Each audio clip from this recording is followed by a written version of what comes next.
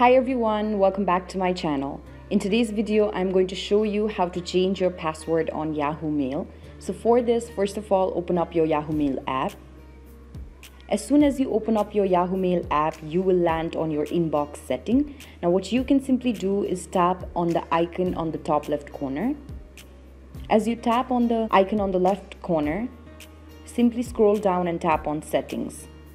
On settings, tap on manage accounts under accounts and security. And now tap on the account information of the account that you'd like to change the password of. After doing this, under account security, you have different options. Choose security settings.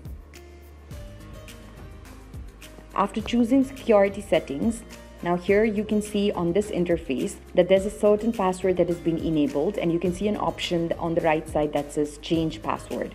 Tap on change password. Tap on continue. Tap on send me a notification.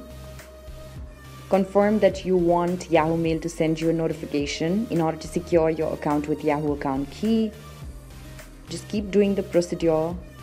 Tap on yes in order to sign in and now here you will receive an option that is to either use Yahoo account key or to change your password instead. So if you'd like to change your password, tap on change my password instead.